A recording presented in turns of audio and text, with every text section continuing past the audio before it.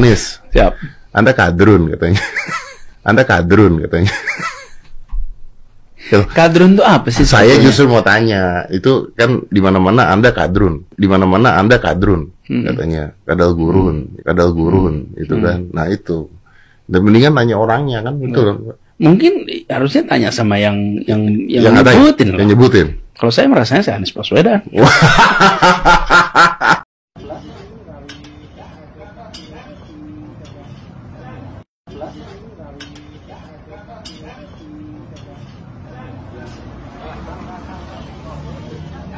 Pak Anies, izin Pak Anies. Oh salah mas. lima tahun Tuhan izinkan kasih ke orang yang pintar ngomong untuk kerja. Coba kalau kita bayangkan gitu ya, kalau kemarin saya masih jadi gubernur, ini saya udah turun ini. Tapi yang pintar ngomong itu dikira orang hebat kan? Ini lebih ber, lebih berbahaya tahun 2024. Kalau mau nguji karakter sejati seseorang, kasih dia kekuasaan. Langsung ketahuan karakternya. Langsung ketahuan itu. Pantas saja koalisi diberi nama koalisi perubahan karena isinya memang orang-orang yang tidak konsisten atau suka berubah-ubah. Anies mendapatkan sindiran keras dari Nasdem selaku partai pengusungnya. Sejak awal ditetapkan sebagai cawapres, Anies kerap menetapkan kriteria yang berubah-ubah. Sudah tidak heran lagi dengan sikap Anies yang kerap tidak konsisten dengan omongannya sendiri. Hari ini ngomongnya apa, besok bisa jadi omongannya akan berubah tak sesuai omongan di awal. Mau heran tapi inilah kenyataan sifat asli dari Anies Baswedan. Eh karena setelah berbulan-bulan mencapreskan Anies Baswedan, ternyata Partai Nasdem sampai sekarang masih bingung. bingung ngadepin Anies yang selalu berubah-ubah katanya. Anies berubah-ubah itu kan sesuai dengan nama koalisi perubahan. Jadi semakin berubah-ubah, semakin bagus kan mestinya. Gila bro, pendukungnya Pak Anies. Iya arek iki. Nak desa kok gak payu bro, Pak Anies. Manis yo, Apa meneh ya. pendukungnya? Partai pendukungnya. Nasdem, Demokrat, PKS, gak payu. Tak kongkon milih Pak Anies. Wong siji iki sakno. Pak Anies lumayan nang desa oleh siji. Pendukung sampean lumayan. Daripada gak ono blas. Nasdem sudah susah payah bagusin citra Anies, eh partai umat malah hancurkan lagi. Saya bisa menjelaskan itu pakai dua hal. Pertama kenapa Anies yang paling banyak dicari di Karena ada partai umat sekali itu ya banyak aktivitas. Pertama soal partai umat. Ya Nasdem ini kan susah payah menghilangkan Anies dari isu politik identitas. Tapi tiba-tiba didukung oleh partai umat yang jelas-jelas 2024 akan pakai politik identitas. Dicari itu. Yang kedua, Anies ini suka tidak suka adalah orang tempat berkumpulnya para pembenci Jokowi. Itu penting tuh. Oke guys, sebelum melanjut menonton video ini, jangan lupa tekan tombol subscribe, nyalain loncengnya, like, dan share ke teman-teman kalian. Iya guys, belakangan banyak sekali pengamat politik yang memperkirakan koalisi perubahan yang mengusung baca pres Anies Baswedan di Pilpres 2024 mendatang guys akan bubar. Nah, kira-kira apa yang menjadi sebab sehingga koalisi ini diprediksi akan bubar? Baik, nanti kita uh, akan cari tahu guys apa penyebabnya. Namun, sebelumnya yuk kita lanjut dulu menyimak beberapa cuplikan video berikut ini guys. Perang dingin yang terjadi di koalisi perubahan semakin hari semakin besar. Pasalnya yang namanya koalisi itu semestinya kompak dan saling mendukung, tapi Demokrat dan PKS justru diprediksi akan tinggalkan koalisi. Apakah ini jadi ancaman buat Anies? Saya tuh nggak tahu kenapa sekarang ini tuh kasihan banget sama Anies Baswedan. Suaranya turun terus Otang lah, dan otang, koalisi boleh. yang mengusung dia yaitu koalisi perubahan Otang. itu berpotensi hancur berantakan. Anies itu lebih baik siap-siaplah dengan bendera putih tanda menyerah. Demokrat kemungkinan besar ke Ganjar Pranowo. PKS kemungkinan besar Malam, juga ya? ke Prabowo Malam. Subianto. Masing-masing partai itu berlomba membuat sekoci untuk menyelamatkan ya? Dulu diri. ya? Tinggal Anies dan Nasdem ditinggal saling menatap sambil masing-masing mengutuk dalam hati. Sialan, harusnya dulu gua nggak perlu jalan sama lu, bikin kalah aja. Padahal harapan Nasdem dengan mendeklarasikan Anies, dia itu bisa mendapatkan limpahan suara gitu. Dan Nasdem ingin mengulang seperti cerita Pilpres 2014 dan 2019 gitu ketika lebih dulu mendeklarasikan Jokowi sebagai capresnya itu Nasdem mendapatkan limpahan suara yang sangat-sangat signifikan. Nah hari ini itu coba mau diulang dengan mendeklarasikan Anies gitu. Makanya Anies kemudian disuruh jalan duluan ke daerah-daerah. Sudah mulai kampanye ke daerah-daerah gitu. Anies presidennya, Nasdem partainya. Apalagi kemudian di survei-survei yang lain mengatakan bahwa Demokrat tiga besar gitu kan. Bersaing dengan Gerindra dan Golkar gitu.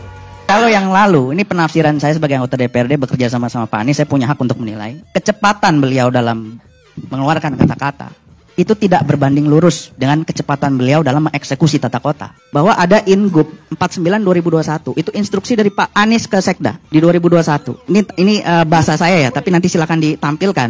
Isinya intinya semua tolong Pak Sekda beresin. Semuanya yang uh, prioritas daerah. Lah, terus tanggung jawab dan tanggung jawabnya itu semua diserahkan ke Sekda. Jadi kalau ada apa-apa Sekda yang salah itu di akhir masa jabatan baru suruh sekda beresin semua. Sisanya cuma kata-kata di RPJMD yang manis-manis saja. Konyolnya di masa akhir jabatan Pak Gubernur suruh sekda bersih-bersih. Ada tulisannya apa? Tolong bikin master plan. Yang pertama, master plan buat fiskal. Kedua, master plan buat aset daerah. Loh, orang kerja itu pasti udah punya master plan dulu di awal, baru kita kerja lima tahun. Ini kerja setelah sampai 2021 dari awal jabatan baru mau bikin master plan di 2021 akhir, di, di pertengahan di ke akhir masa jabatan. Terlalu banyak narasi, narasi sampai beliau ngomong yang penting gagasan narasi, gagasan narasi di ujungnya baru karya. Karyanya ngerjain siapa? Ingup, Sursekda yang kerjain. Kalau gitu gajinya Pak Anies kasih aja semua. Kalau dihitung rata-rata ya Pak Anies ini ya tidak baik dan tidak buruk. Itu banyak visi dan misi besar yang kita tangkap Bang. Ketika Anies bicara secara lantang, dia akan berdiri tegak bersama rakyat Jakarta, menolak reklamasi. Semua orang suka Bang.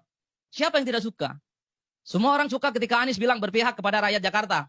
Ingin bikin DP rumah 0%, 2.302, 232 ribu sekian. Semua orang senang. Anies berjanji tidak akan melakukan penggusuran secara paksa. Anies dan Sandi bicara akan melakukan jakpreneur. Saat itu istilahnya masih oke-oke. 200 ribu wirausahawan. Wah itu luar biasa. Dan itu yang sebenarnya ingin dibanggakan oleh Anies dan Sandi. Mari kita cek satu-satu. Di zaman Anies apakah reklamasi lanjut? Ada sebagian. Dan itu harus kita akui. Yang dicabut juga banyak, 13. 13 izin reklamasi di stop. Tapi sebagian yang lainnya ada. Ya, Itu beredar sampai sekarang di media, di record dengan bagus. Ya saya nggak mau nyebut, Bang Gaya sudah tahu, Bang Batar sudah tahu. Artinya apa? Tidak 100% janji politik Anies soal stop reklamasi itu dipenuhi. Ada yang lanjut, tapi sebagian yang lainnya di stop. Nah itu yang saya bilang harus proporsional. Supaya kita tidak terjebak pada pembelahan yang menurut saya tidak ada gunanya. Yang kedua, sudah disebutkan oleh Mas William, Ketika janji 232 ribu, DP rumah 0 persen. Ya, faktanya sampai sekarang tidak sesuai dengan target, Bang. Harus diakui, targetnya diturunkan jadi 10 ribu. Sempat dirumorkan, diturunkan jadi 7 ribu. Itu pun juga tidak sesuai dengan target, hanya 10 persen. Dan bahkan kita tahu bersama, pembebasan tanahnya soal DP 0 rumah persen juga bermasalah. Ada yang sudah jadi tersangka. Kita tidak bisa menutup mata ini semua. Tapi bahwa ada mimpi besar yang dimiliki oleh Anies dan Sandi saat itu, ya. Pada level implementasi, ya kita juga tahu cuma 0%. Terkait dengan penggusuran, oke, okay, penggusuran secara baksa. Secara simbolik misalnya kampung akuarium kemarin dibangun kembali oleh Anies. Semua orang tepuk tangan. Tapi catatan LBH Jakarta, Bang, kita tidak bisa menutup mata. 2019, 2020, Anies juga banyak penggusuran. Ya, demi kota administrasi dan tertib dan indah di Jakarta. Jakarta Selatan misalnya ada 20 titik yang digusur. Jakarta Pusat ada 22 titik. Jakarta Timur ada 12, Jakarta Barat ada 10. Itu fix dan firm. Makanya ketika Anies tiga tahun masa jabatan politiknya dikritik oleh teman-teman LBH karena dianggap tidak memenuhi janji politiknya. Dan itu terrecord sampai sekarang dan tidak ada yang bisa membantah. Itu akan sukses. Ya nyatanya terlepas dari apa pun yang terjadi saat ini Formula E selesai. Sekalipun masih banyak footnote-nya. Pak Anies kemarin bersaksi di KPK. Tapi yang kemudian menjadi ramai adalah karena ada instrumen variabel ya, Be. Variabel dan unsur-unsur yang dulu dianggap menjadi ruh penting soal bagaimana perubahan Jakarta itu tidak tuntas sama Pak Anies. Misalnya soal bagaimana menuntaskan banjir ya. Ketika misalnya ada rencana 6 juta titik, kenapa yang terrealisasi cuma 5? Ah, 2 juta maksud saya. Kenapa yang terrealisasi cuma 5? Berarti ada deadlock dengan teman-teman DPRD. Diprotes oleh PAN misalnya, diprotes oleh Demokrat biar tidak lanjut. Ini kan juga persoalan yang dianggap gagal. Bagaimana Pak Anies yang tidak punya partai, tidak punya jalur tol untuk mengkomunikasikan hal ini dengan baik ke partai. Beberapa waktu lalu ada dua event yang menarik perhatian gue. Yang pertama itu acara pidatonya Anies di dalam acara Asosiasi Pemerintah Desa atau APDESI yang bikin enak kepala desa yang hadir di sana. dan pertemuan PDIP dengan Golkar dan PKB yang kabarnya akan segera bergabung dalam koalisi pendukung Ganjar Pranowo. Oke, kita bahas satu persatu ya. Gue mulai dari acaranya Abdesi dulu. Apa yang menarik dari acara ini? Kejadian yang menimpa Anies Baswedan keulang lagi waktu pas dia mau ngebacot, ditinggal lagi. Kalau kemarin ditinggal kader Nasdem, sekarang ditinggal oleh kepala desa. Jadi sebelumnya gue minta maaf ya ke pendukung Anies yang udah mengglorifikasi kehadiran Anies di acara ini. Gue minta maaf kalau mengganggu mimpi indah kalian. Anies yang di acara itu digambarkan memberikan gagasan hebat oleh kalian. Faktanya banyak yang gak peduli sama bacotannya dia.